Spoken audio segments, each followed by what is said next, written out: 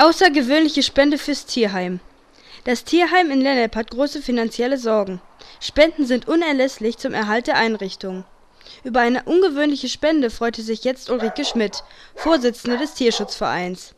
Der Lenneper Historiker Wilhelm R. Schmidt spendete dem Tierheim eine umfangreiche Briefmarkensammlung.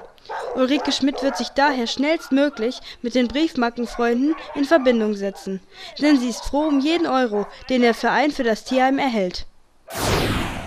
Kunstrasen für Lüttringhausen. Der Jahnplatz soll eine moderne Sportanlage und zugleich ein Treffpunkt für Jugendliche im Stadtteil werden.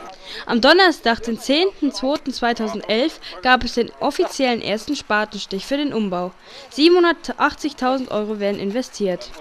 Zusätzlich aufgewertet wird die Anlage mit zwei multifunktionalen Sportfeldern, auf denen Basketball, Fußball oder Volleyball gespielt werden kann Sportamtsleiter Bernd Fiedler hofft, dass die Anlage von Lüttringhauser Jugendlichen gut angenommen wird und sich zu einem Treffpunkt im Stadtteil entwickelt.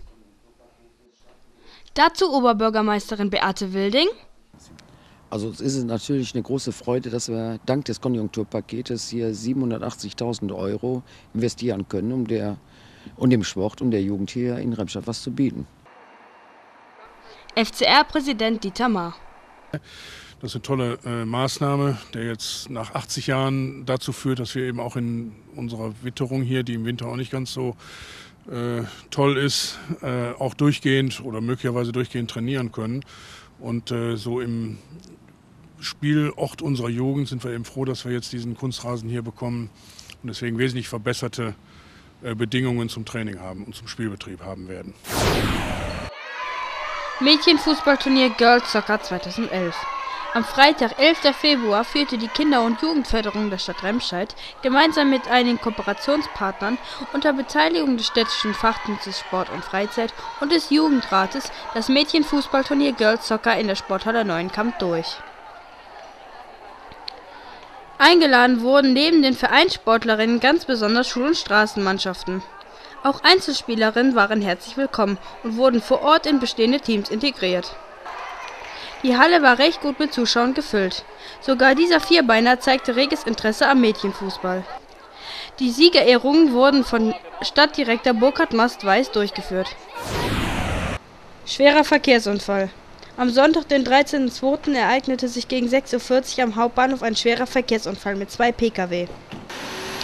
Zunächst hielten beide Fahrzeugführer vor der roten Ampel an der Freiheitsstraße.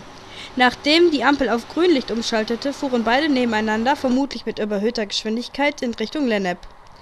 Plötzlich geriet der BMW ins Schleudern, kollidierte mit der Leitplanke und kam am rechten Fahrbahnrand zum Stillstand.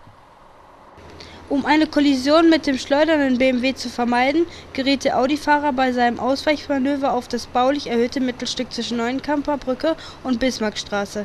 Hier touchierte er zunächst eine Warnbarke und prallte schließlich frontal gegen einen Betonpfeiler. Der 24-jährige Audi-Fahrer sowie seine gleichaltrige Beifahrerin mussten schwer verletzt ins Krankenhaus verbracht werden. Der BMW-Fahrer blieb unverletzt. Die Führerscheine der Unfallfahrer wurden sichergestellt. Es entstand ein Gesamtschaden von knapp 50.000 Euro. Die Polizei sucht Zeugen, die den Unfall beobachtet haben oder sonstige Hinweise zum Unfallgeschehen machen können